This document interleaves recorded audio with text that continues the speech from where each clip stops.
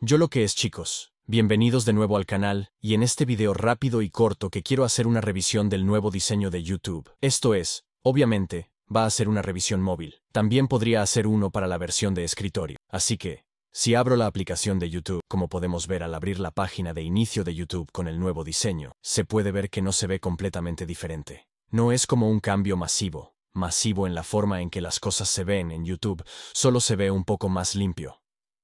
Como puedes ver, el botón de suscripción ahora es redondeado y blanco, así que en lugar de ese botón de suscripción rojo, así es como se ve ahora. No soy fan del botón de suscripción. Prefiero el botón de suscripción rojo, pero de todos modos, esto es 2023 casi, y aplicaciones necesitan actualizarse para mantenerse relevante, y para cambiar lo que los tiempos de la evolución de Internet y todo eso. Así que esa es una de las razones por las que hicieron esta actualización. Ahora, si vas a un canal, si voy a mi canal rápidamente tocando tu canal, las páginas de los canales se ven muy diferentes en comparación con cómo se veían antes. Las cosas solían verse bastante cuadriculadas en YouTube, en el antiguo diseño. Ahora todo es redondeado. Y me gusta ese diseño redondeado. Se ve bastante limpio.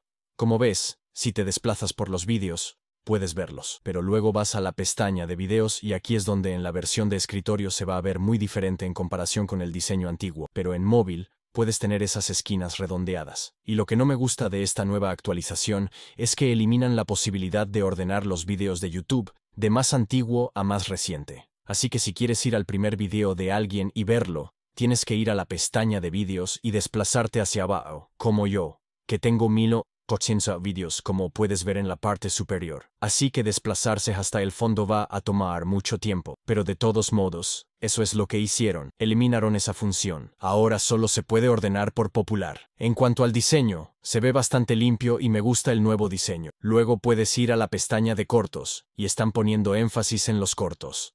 Así que puedes ver todos los canales de cortos. El resto es prácticamente igual. Ahora, si vas a las listas de reproducción, la lista de reproducción ha cambiado bastante. Así que si pulsas en una lista de reproducción, déjame pulsar en esta. Y se puede ver el nuevo diseño de la página de lista de reproducción, se ve bastante limpio. Tiene ese fondo en la parte posterior de la miniatura, tomando los colores de la miniatura. Y luego puedes ver la lista de reproducción, desde aquí. Así que es un buen cambio, que me gusta. Y luego, si entras en un vídeo específico de YouTube, déjame volver atrás. Si me meto en un vídeo de YouTube, lo que vas a hacer es que vas a tener el modo ambiente. Así, se puede ver, todo parece ambiente. Usted puede ver el fondo de los colores del vídeo de YouTube en la parte de atrás allí, y déjame ver si el modo ambiente está activado por lo que el modo ambiente está desactivado si lo enciendo, debería darme que los colores parpadean en el fondo del vídeo ahora. Esta es una lista de reproducción, así que no estoy muy seguro de si va a funcionar.